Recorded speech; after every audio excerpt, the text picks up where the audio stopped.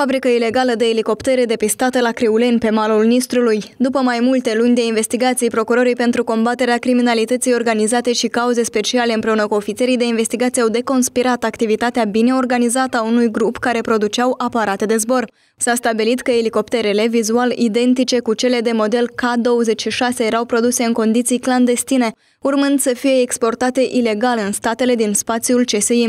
În data de 30 iunie, oamenii lege au percheziționat baza de producere dintr-o localitate din raionul Criuleni, dar și domiciliile persoanelor implicate pentru acumularea probatoriului necesar. În urma descingerilor s-a stabilit că la moment pe liniile de producere sunt 10 elicoptere, aflate la diferite etape de finisare, toate produse în lipsa actelor permisive necesare și documentelor de proveniență pentru piesele și utilajele folosite.